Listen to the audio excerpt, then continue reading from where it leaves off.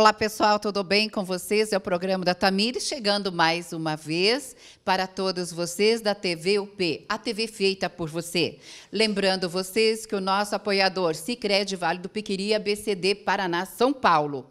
Hoje eu estou com duas entrevistadas, Juliana e Juliane, aqui do Hospital Neurospar. Eu vou para o apoio cultural e eu volto já já para falar de um assunto, aliás, dois assuntos muito importantes para todos nós, né? Volto já.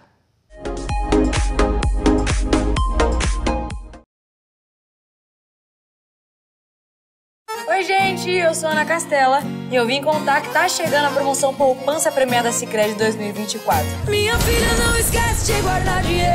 Abre poupança no Sicredi que é premiado. Tem sorteios semanais durante o ano inteiro e no final do ano sempre é uma bolada. Minha filha não esquece de guardar dinheiro. Para participar é simples. Depositou, ganhou o cupom da sorte para concorrer. Faça como eu, bora poupar.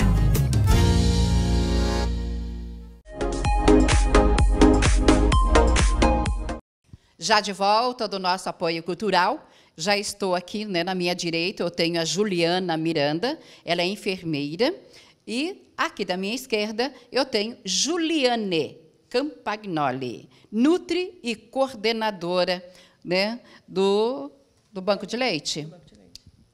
Olha os assuntos, gente. E aqui nós temos quem vai falar da nutrição.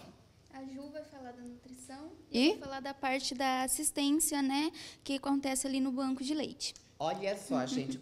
Duas meninas, duas jovens meninas que estarão passando informações muito importantes para vocês. Vamos começar por quem? Vamos falar de leite? Então, vamos falar de leite, gente. Vamos falar do banco de leite humano. Eu já fiz muitas matérias a respeito do assunto. Mas, hoje, nós vamos falar um pouquinho mais e a importância do leite humano para as nossas crianças. É isso? Isso mesmo. É, falando então, começando a falar, né, como funciona o banco de leite. Então, o banco de leite ele funciona em duas etapas, né? Tem a etapa do da captação desse leite, né? Então, Da a gente, isso, onde a gente consegue captar esse leite com o poço de coleta e tem a etapa da pasteurização, que é onde é feito o tratamento desse leite e distribuído para os bebês da UTI NEL, né? O nosso trabalho hoje é conseguir captar leite suficiente para distribuir para todos os bebês que está internado na nossa UTI NEL. Então, o nosso primeiro passo é captar esse leite, né, para consi conseguir doadoras, para captar esse leite conseguir sim fazer o tratamento desse leite e voltar para a nossa UTI NEL. É, a parte nutricional, onde fala né, da importância desse leite para os bebês da UTI NEL, a Ju vai saber explicar melhor do que eu a parte nutricional, mas assim, já adiantando num geral, é a importância porque todo mundo já sabe, né, é muito falado, que o leite materno é a primeira vacina do bebê. Então, assim, os bebês que estão na UTI NEL, que não conseguiu ainda ter esse primeiro contato com a amamentação após o nascimento, ele recebendo esse leite doado, que pode ser da própria mãe ou, né, de uma doadora, ele consegue ter essa primeira vacina, né? Então, leite rico em nutrientes, proteínas, que vai fazer muito bem para esse bebê e para a recuperação desse bebê. A parte nutricional, a Ju vai explicar um pouquinho melhor. Então, vamos lá, Ju. Isso, como a Ju comentou, né? Esse leite materno, ele vai ser o quê? Ele vai ser essencial para prevenir uma das principais causas da mortalidade, né, infantil do, do, das crianças internadas, dos prematuros da neonatal. Por quê? Porque esse leite ele vai estar repleto, além de eh, fatores imunológicos, também de bactérias benéficas, né, que vão colonizar o trato intestinal dessa criança, que já é um trato imaturo, e vai prevenir que essas bactérias ruins possam estar provocando necrose desse intestino, que seria a nossa é, tão é, indesejada enterocolite necrosante, né? Então, vai estar ajudando para que essa criança não é, tenha uma maior chance de sobrevida após o nascimento prematuro. Verdade. Muitas, quando nós falamos de bactérias, as pessoas já ficam né, arrepiadas. Falam assim, hum, mas só que nós temos as bactérias boas e as bactérias maléficas, não é isso? Isso, isso mesmo. Né? Então, o leite ele vai estar repleto dessas bactérias do bem. Né? E quando é, não temos essa captação suficiente, que precisamos estar partindo talvez para o uso de uma fórmula, né, nós não recebemos né, essa proteção para o intestino desse prematuro. Pois é, na, na UTI neonatal sempre tem os nossos bebês, principalmente os prematuros, que estão ali esperando o leite humano. Como que fica tudo isso? Hoje nós temos muitas crianças? É, falando do nosso relatório né, mensal do mês passado, nós, tínhamos, nós tivemos 39 crianças durante todo o mês. Então, tem sempre né, essa média, tem bastante crianças que nascem né, prematuros, principalmente ali na maternidade, e vai direto para a UTI neonatal. Então, é muito importante, como a Ju falou, né, pela parte nutricional, é, receber esse leite é, ali no banco, no posto de coleta, que é aqui dentro do Hospital Norospar. Nós recebemos todos os dias de manhã mães que estão com esses bebezinhos na UTI NEL. Elas passam por ali, a gente faz uma ordenha com toda a higienização necessária, fazemos uma ordenha e mandamos o leite cru dessa mãe para o seu próprio bebezinho. Nós mandamos para quatro dietinhas, né? E as outras dietas restantes do mês, do, do dia, perdão, ela é com leite pasteurizado. Então, por isso que é tão importante a doação, porque esse leite pasteurizado vem de doações da própria mãe e de outras mulheres também que estão amamentando e querem ser doadoras voluntárias. Ju, por que o leite cru? Você pode explicar um pouquinho para que as mãezinhas possam entender melhor? Certo. No caso do, do, do leite cru, é a doação realizada da mãe para o próprio filho. Né? Já sai, tira e já é tira e já vai direto para o lactário, né? Para o lactário levar até esse leito da UTI neonatal para o próprio bebê dessa mãe, doadora. Né? Por quê? Dessa forma, ela está recebendo exatamente aquilo que o bebê precisa. Porque o corpo é tão perfeito, o nosso organismo, que é, ele é, demanda exatamente os nutrientes para aquela data, aquela semana de gestação que essa criança nasceu, tudo exatamente conforme aquela criança necessita. Né? Ela, por exemplo, os primeiros dias, colostro. Né? Então, o colostro é mais difícil nós recebermos de doação. Então, essa mãezinha que está com o bebê lá, internado na NEL, ela vai estar tá tendo esse colostro, que é o mais puro, eu falo que é o nosso ouro né, do leite materno. Então, ela vai conseguir estar tá doando esse colostro para esse bebê dela, e está tendo maiores benefícios. Né? Então, por isso que é tão importante que essa mãezinha que tenha o bebê internado venha também passar pelo posto de coleta para estar tá retirando a ordenha desse leite cru que vai para o seu próprio bebê. Né? E também doar né, o excedente que ela tenha para os demais, que daí é o leite que vai ser pasteurizado. Tá? Ju, falar assim que é, é difícil estocar o colostro, porque quando a mamãe está com a mama muito cheia, ela já vai perdendo o colostro, né? Ela, ali já vai se perdendo, não tem como ela tirar e estocar. E é o, o colostro é o leite, é o primeiro que, que, que serve, que imuniza a criança de muitas outras, muitas doencinhas, podemos falar assim. Sim, ele é o, o mais rico, vamos dizer, né? Sim. Que é, é do, do, do, nascimento até o sexto, sexto, sétimo dia, né? Uhum. Então esse é o colostro. E, então, é um período muito curto uhum. né, que nós temos essa produção. Às vezes, o organismo pode se adaptar, mas é mais difícil. O período realmente é esse. Então, a gente precisa muito que haja né, essa ordenha e essa doação para que a gente também possa utilizar para esses bebezinhos pequenininhos que às vezes a mãe não tem produção. Então a gente consegue também da mãe doadora né, que doa o colostro, a gente consegue estar levando até os pequenininhos que estão e que suas mães não têm essa produção. Né? Entendi. Agora, vamos imaginar que não tenha o leite. Uhum. O que vai ser aplicado para as crianças? É, quando né, não temos um volume de doação suficiente para passar leite materno para esses bebezinhos é aplicadas fórmulas, né? Onde ali existe vários tipos de fórmulas que vai se adaptar para cada bebezinho. É, mas, como já foi dito, né, nenhuma fórmula consegue recriar o que é o leite materno. Por isso que é tão importante a doação, né, não só da mãe e também de outras doadoras. Como a Ju falou, né, cada bebezinho recebe o leite. O leite ele tem três fases a fase do colostro, a fase de transição, que ele está mudando de colostro para maduro, e a fase do leite maduro. Então, é muito importante, assim, cada bebezinho recebe de acordo com a idade que ele está. Então, o bebezinho que acabou de nascer, que é prematuro, ele precisa do colostro. O bebezinho que já está com um mês, dois meses, ele precisa do leite maduro. Então, é muito importante. A gente tem, sim, uma segunda opção, né, que é as fórmulas, Mas o mais importante mesmo é que seja o leite materno. Como a Ju falou de colostro, a gente tem um projeto bem legal que é a colostroterapia, onde as mães passam ali com a gente no posto de coleta. Se o bebezinho está com dieta, a gente manda o leitinho da dieta e além da dieta, mesmo que ele não esteja ou esteja com dieta, nós mandamos um ml de colostro. Esse 1 ml de colostro vai ser colocado no cantinho da boca do neném. Não é para dieta, não é para né, ele deglutir, é só para ajudar a formar a microbiota bucal. então, ali já começa a ter as bactérias do bem, né, para ajudar na imunidade desse bebê. Verdade. Eu vou para o apoio cultural e eu volto já já com as meninas, porque nós vamos saber dela é, como coletar, como fazer a ordenha do leite, de que forma, se você for fazer em casa, elas vão explicar direitinho. Se o Moarama já nós temos, né, como pasteurizar o leite materno, porque antes ia para Cascavel, se nós temos tudo aqui na nossa cidade. Eu vou para o apoio e eu volto já com vocês.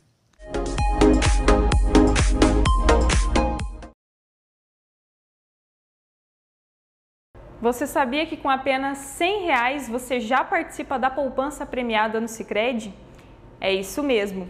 Você concorre a prêmios de 5 mil reais por semana, meio milhão em outubro e um milhão em dezembro. Com apenas 100 reais você vai participar de mais de 2 milhões e meio em prêmios. Isso mesmo, vem com a gente. Já de volta do nosso apoio cultural, então tem umas perguntinhas aqui para as meninas. Vamos ver qual, quem vai responder. Quais são os maiores desafios enfrentados na captação e distribuição de leite materno para bebês prematuros na UTI? Você? É, hoje, né, o nosso maior desafio é manter um número de doadoras ativas para que não caia né, essa quantidade de leite que a gente recebe. Quando a gente para para pensar que é preconizado pelo Ministério da Saúde que a mãe amamente exclusivo até os seis meses de vida da criança, então a cada seis meses acaba tendo uma rotatividade, né? As mulheres começam a ter uma menor produção de leite porque começa a introdução alimentar do bebê. Então, a cada seis meses nós acabamos perdendo algumas doadoras. Então, assim, o nosso maior desafio é conseguir captar sempre mais e mais doadoras para manter o mesmo número ativo que consiga suprir as necessidades da UTI. Por isso que a gente faz bastante campanha, ações, publicações no Instagram, nas redes sociais, para que a gente consiga sempre ter esse alcance nessas mulheres que estão amamentando para ser possíveis doadoras. Verdade. Agora, as doadoras, elas relaxam ou como o bebê já está tudo em ordem, ela está amamentando normalmente, está tudo certo, é por isso que se afastam? Muitas vezes é porque a mãe volta a trabalhar, né? Ah, É, às vezes não tem uma rede de apoio, então inicia a, a outras atividades da criança conforme ela vai crescendo e ela deixa de ter aquele tempo que ela demandava para estar realizando. Porque ela fica né? um período em casa, né, Ju? Sim, Daí é mais fácil. é mais fácil. Quando ela retorna geralmente para as atividades que ela tinha antes, né, do trabalho principalmente, é que essas doadoras acabam deixando de fazer né, é, parte do nosso quadro de doadoras. Então, porque, por isso que a gente precisa sempre ter essa renovação né, dos cadastros, mais doadoras, e também, assim, conforme a gente consiga aumentar o número de doadoras, a gente, mais à frente, né, que é um projeto futuro, a gente quer estar viabilizando esse leite né, para todas as crianças que nascerem aqui com a gente né? não só da NEL, mas também da maternidade para aquelas mães que ainda não tiveram a produção efetiva do seu próprio leite, né? para que não seja é, realizado o primeiro contato com a fórmula, mas sim com o leite materno. Verdade, muito bem explicado. Vamos lá com outra perguntinha. Quais os outros serviços do Banco de Leite Humano e como ele auxilia os pais e os bebês prematuros durante o período de internação, que eles ficam na UTI. Tem bebês que ficam 10 dias, 15 dias, e tem bebês que ficam um bom tempo. Bom tempo. É, nós fornecemos serviço né, desde a ajuda com a amamentação, porque é sempre bom lembrar que se precisamos de doadoras, né, precisamos de mulheres que amamentam bem e amamentam exclusivo. Então, sempre uma doadora vai ser uma mulher que amamenta exclusivo, saudável e que tenha um excesso de leite. Então, nós fornecemos auxílio na questão da amamentação. Todos os dias, nós do banco de leite ali do posto de coleta, passamos na maternidade com todas as mulheres que tiveram neném, perguntamos como que está a amamentação, auxiliamos colocar né, o bebê no seio e esclarecemos todas as dúvidas que elas têm. Também fazemos uma busca ativa Todas as mulheres, em torno de duas semanas pós-parto, nós enviamos uma mensagem para elas perguntando como que está a amamentação. Então, assim, a gente consegue fortalecer a amamentação para que essa mulher, se tenha um excesso de leite, possa ser uma possível doadora. É, fornecemos também orientação de pré-natal. A mulher ainda gestante pode procurar a gente e receber todas as orientações sobre a amamentação damos orientação pós-parto, que é mulheres que já foi para casa, encontrou dificuldade para amamentar, marca um horário, volta aqui e a gente ajuda ela junto com o bebezinho a colocar esse bebezinho no peito, né? E a fornecer todas essas informações que ela precisa. E o trabalho com as mães de UTI, como já foi dito, né? Todas as mães de UTI passam ali com a gente todos os dias de manhã antes da visita para captar esse leite cru, como a Ju explicou, e enviar para os bebezinhos. Ali a gente faz roda de conversa, é, conversamos com elas, colocamos uma música para elas ordenhar num ambiente mais calmo, Relaxa. mais tranquilo, relaxar um pouquinho nesse momento que é tão tenso, né? Como você disse, tem bebês que ficam 106 dias, 110 dias na UTI. Uhum. Então são meses e elas passam ali com a gente todos os dias, a gente acaba criando um vínculo com elas para tentar trazer elas mais para perto, né? E mostrar como é importante elas estarem passando ali e mandando, mandando leite para o seu bebê. Ju, é, qual foi o menor bebê que você né, já se deparou na UTI? Eu lembro que uma vez eu fiz uma matéria na UTI neonatal aqui do hospital, eu, juntamente, é claro, com o pediatra, e eu encontrei, gente, às vezes você fica olhando assim, gente, será que sobrevive? E sobrevive. Então, nós já tivemos bebês de prematuridade extrema de 26 semanas. Então, assim, são bem pequenininhos comparado a um bebê a termo, né, de 39, 40 semanas. É um bebê bem pequenininho e tem chance, sim, de sobreviver, né? Um trabalho árduo, né, da equipe da UTI para manter esse bebezinho vivo e se recuperando. E o leite materno é importantíssimo nessa recuperação, faz muita diferença. Por esse motivo que nós estamos aqui para falar sobre o leite materno, o leite humano a importância dele neste momento para os prematuros. Isso mesmo. É, parece que é só um leite, né, mas é de extrema importância por todo o seu valor nutricional. Então ajuda muito na recuperação do bebê. É. Às vezes as pessoas não param para pensar, né, do tão maravilhoso e abençoado que é o leite materno. Com certeza. E assim, como é, as mães de UTI muitas vezes elas estão muito abaladas emocionalmente, né? Porque todo mundo tem um planejamento de que o filho vai nascer no tempo certo e tudo mais. Então, muitas vezes elas estão tão emocionalmente assim é, exaustas que muitas vezes elas não conseguem estar, né, fazendo essa ordeia e produzindo o próprio leite. Então, por isso que a gente frisa cada vez mais de que haja essa doação para que essas doadoras possam suprir as necessidades dessa criança e dessa mãe, nesse momento que está sendo tão difícil para ela estar tá passando. Né? Verdade. Porque só saber que o filhinho está, né, está ali, nasceu prematuro, e o dia de amanhã é incerto, ela não sabe o que pensar a respeito do assunto. Mas ela tem essas mãezinhas, eu, eu falo assim da UTI, né, o Natal aqui do Hospital Noruspar, com essas meninas aqui, as duas Jus, né? Eu estou com duas Jus aqui hoje no programa o trabalho que elas fazem maravilhoso para que as mamães fiquem mais tranquilas, porque elas estão ali, né? E vão revezando, é 24 horas, é pediatra 24 horas ali cuidando do seu bebezinho.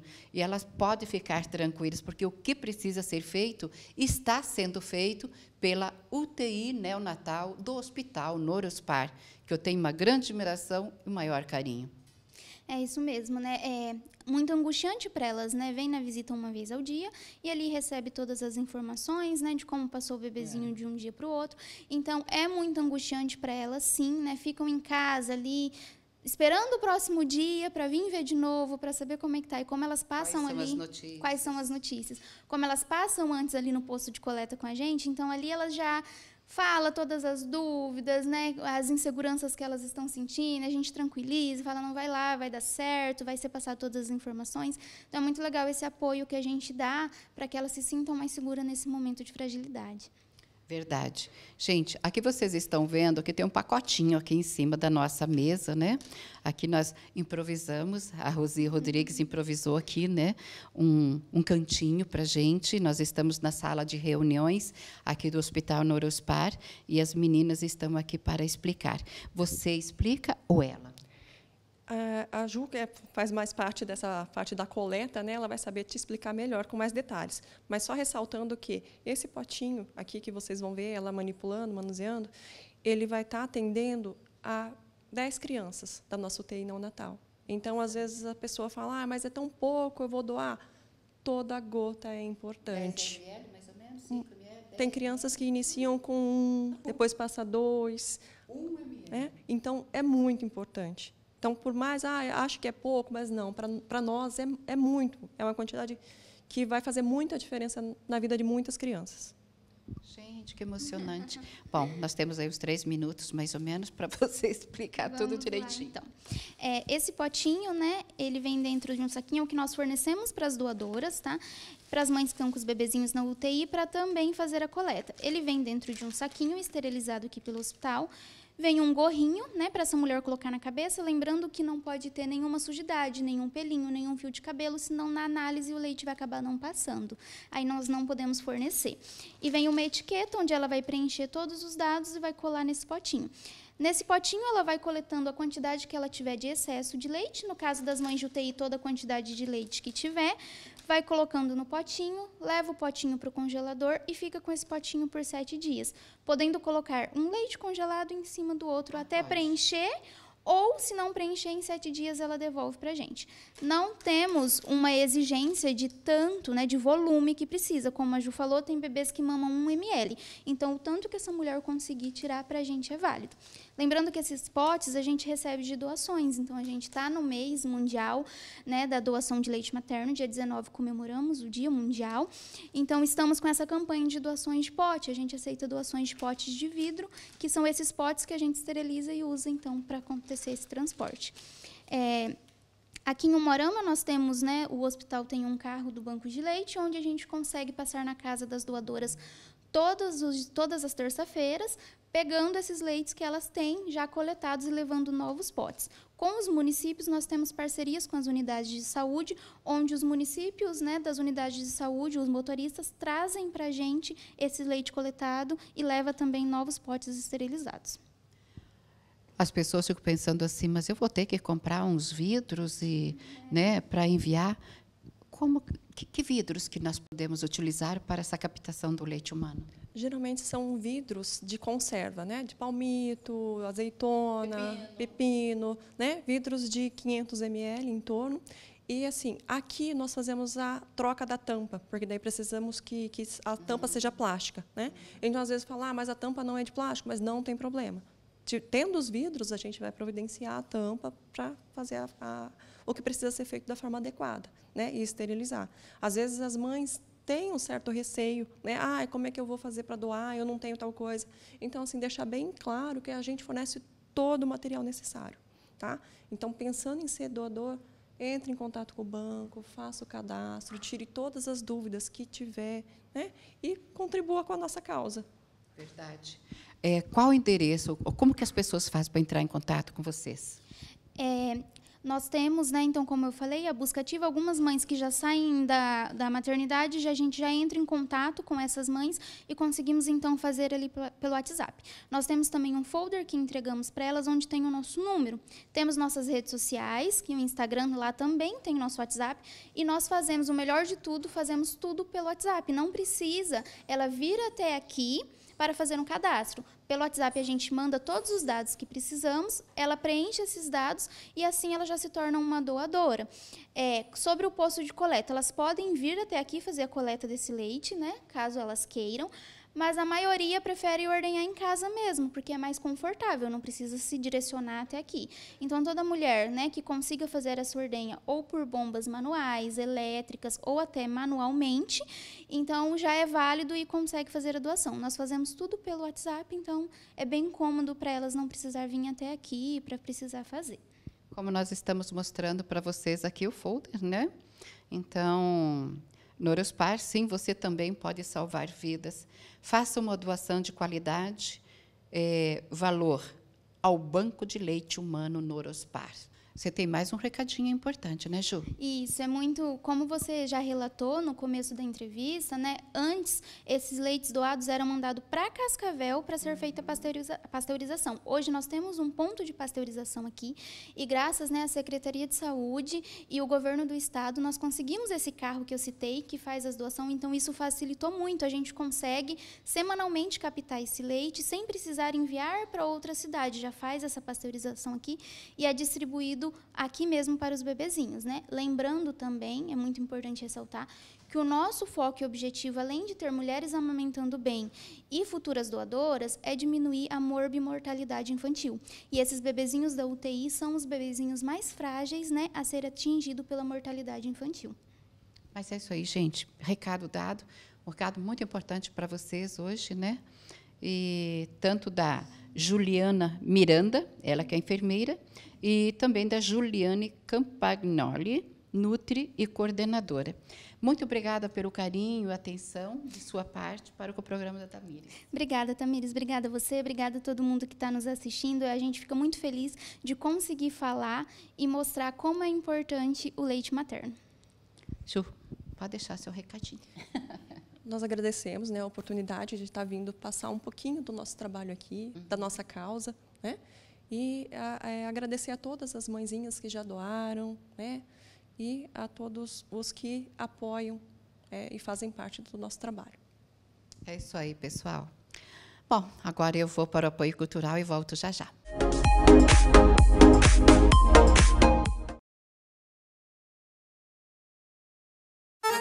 gente, eu sou Ana Castela e eu vim contar que tá chegando a promoção Poupança Premiada Sicredi 2024. Minha filha, não esquece de guardar dinheiro.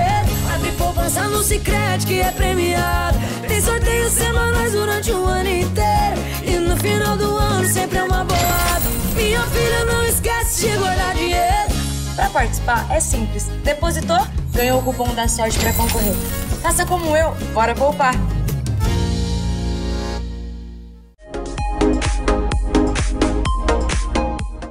Programa da Tamires chegou ao final mais uma vez. Obrigada pelo carinho e atenção de vocês. Sempre o programa da Tamires no oferecimento de Cooperativa Sicredi, quem coopera cresce. Dr. Augusto Legnani Neto, da Ofta Vita. Dr. Augusto Legnani Neto, Dr. Paulo Igor Howen.